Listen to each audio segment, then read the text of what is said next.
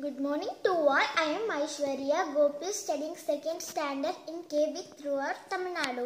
Respected principal teachers and my dear friends, very good morning to all. Today I am going to highlight the significance of National Education Day. This day is celebrated every year on 11th November in India. This day is celebrated to mark the birth anniversary of Mr. Maulana Abdul Kalam Azad. Maulana Abdul Kalam Azad served the country from 1947 to 1958 as the first Minister of Education in Pandit Pandit Jawaharlal Nehru cabinet.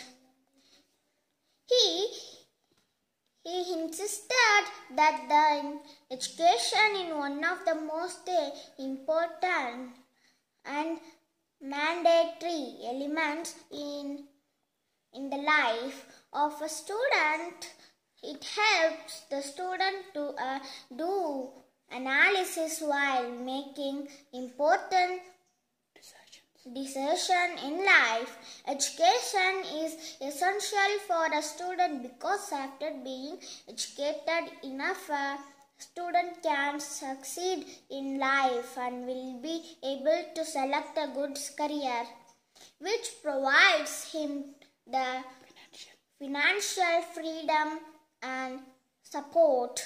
Education also helps the student to in in using the technology in a better way in this era of rapid technological development and techno- transformation. transformation. Education plays a very important role in everyone's life. It is very important to get proper education in the same way as the healthy body needs food to achieve su- success the success and happiness it it is it is it is very necessary to live a great and better life. It provides physical and mental standards by developing a person personality and changes the level of living of the people. It promotes the feeling of living a better life as well as being good at the physical, mental, and Spiritual. Spiritual. social level. The nature of good education is const- Construct. Constructive, which creates our future forever. It helps a person to improve his mental, mental, physical, and Spiritual. spiritual level. It gives us a lot of confidence by pro, pro, Promoting. promoting knowledge of many areas. It is also the single and important path of person developing development along with success.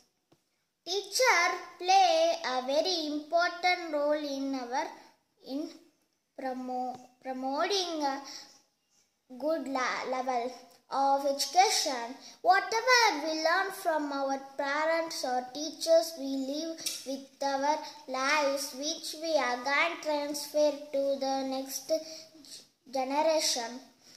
The purpose and benefits of proper education are not limited to per- personal benefits except for the benefit uh, of the family, society, and other people of the country.